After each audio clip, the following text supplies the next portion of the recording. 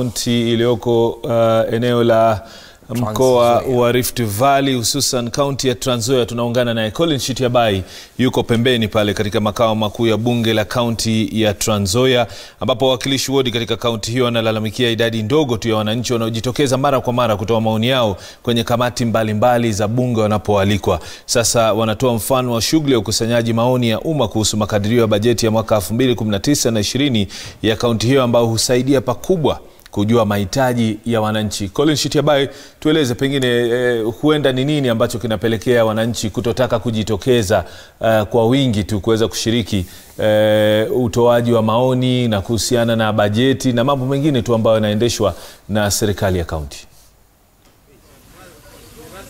Eh, Nimrod, kama ulivyosema kabisa, wananchi wengi hawajakuwa wakijihusisha na masuala nzima ya kuweza kutengeneza bajeti ama kupata kutoa maoni jinsi wangelipenda fedha ambazo zinatengewa serikali ya kaunti ya Trans Nzoia kutekeleza miradi. E, kwa mfano mwaka uliopita serikali ya kaunti ya Trans Nzoia ilipata bilioni 6.8. Kati ya hizo fedha hizo ni shilingi bilioni mbili ndio iliweza kutengewa maendeleo na pia kati ya fedha hizo wanasema kwamba asilimia kubwa iliweza kuelekezewa katika miradi ya kilimo na miradi ya afya.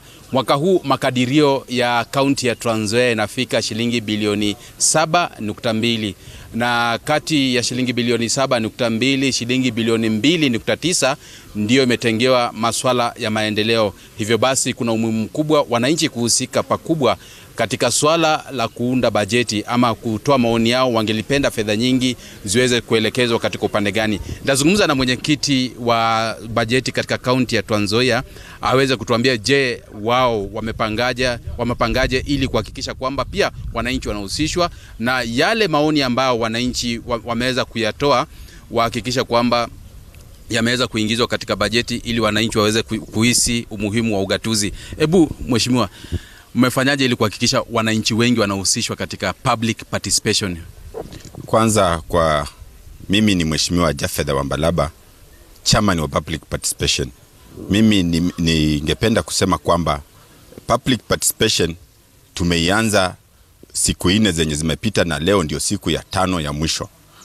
Public participation imekuwa nzuri, watu wametoka kwa, uh, kwa wingi sana, na mimi nashukuru sababu kwa maoni yao wametutolea maoni yao kama sisi waheshimiwa kwa ward zote 25 na tuko imara kwamba tutakuwa eh, tuta, eh, pamoja ili tuone jinsi tunawafanyia kazi.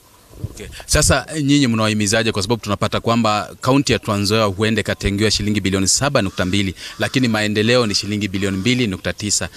Mnafanyaje ili kuhakikisha pia wananchi wanaelewa swala hilo, kwa sababu kuna ile fedha ya kulipa mishahara na kutekeleza masuala mengine? Mimi na, nasema kwamba maoni ni ya wananchi wapendwa, ni wao watatoa maoni jinsi tunaweza fanya. Yeah. Sawa. Haya, mheshimiwa, utuambie public participation ina umuhimu gani wananchi kuhusika pakubwa? Asante sana. Kwanza mimi ni mheshimiwa Jeremiah kutoka katika wodi ya Matumei katika kaunti hii ya Trans Nzoia. Huu ni msimu wa kutengeneza bajeti, na bajeti ni swala muhimu sana sana sana. Kisheria lazima wananchi washirikishwe katika hii shughuli ya kutengeneza bajeti, na lililo la msingi ni kwamba maoni ya wananchi lazima yatiliwe maanani wakati ambapo tunakuja na nakala ya mwisho ya bajeti. Haingekuwa vyema kwamba tutembee kila mahali wananchi wakitoa maoni yao, kisha baadaye maoni hayo yatupiliwe mbali. Kitu ambacho tunataka ni kuona kwamba maoni hayo yamekuwa katika mstari wa mbele katika kutengeneza hiyo bajeti. Asante.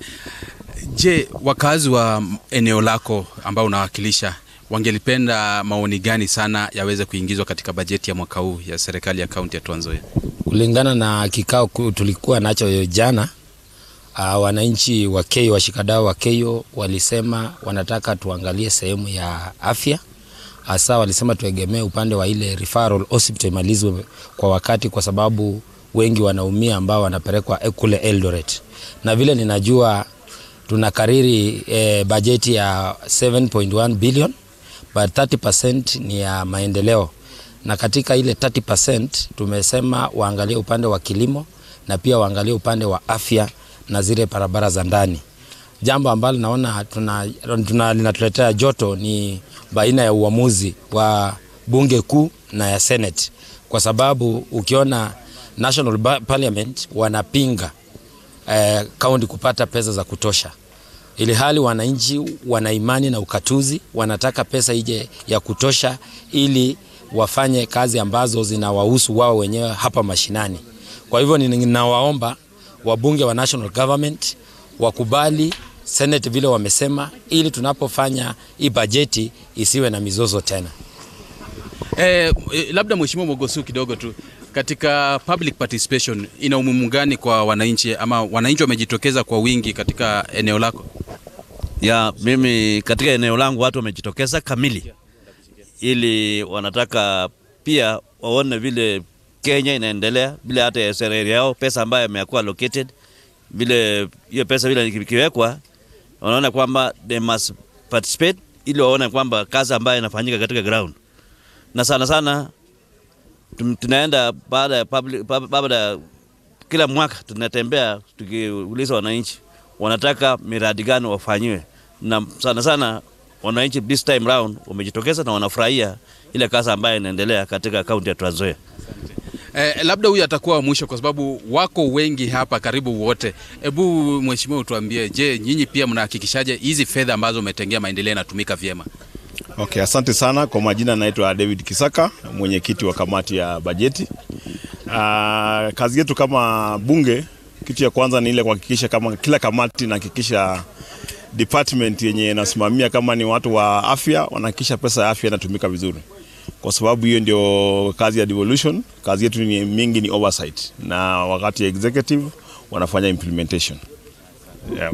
Eh, kama ulivyosikia ni wawakilishi wa wadi ambao wako katika bunge la kaunti ya Trans Nzoia ambao wanasema kwamba wanawataka wananchi kujitokeza kwa wingi kushiriki katika hiyo public participation ili kuhakikisha kwamba maoni yao ambao wanaweza kutoa iweze kuingizwa katika bajeti na waweze kupatia kipaumbele miradi ya maendeleo ambao wamekuwa wakisema katika maeneo ya mashinani.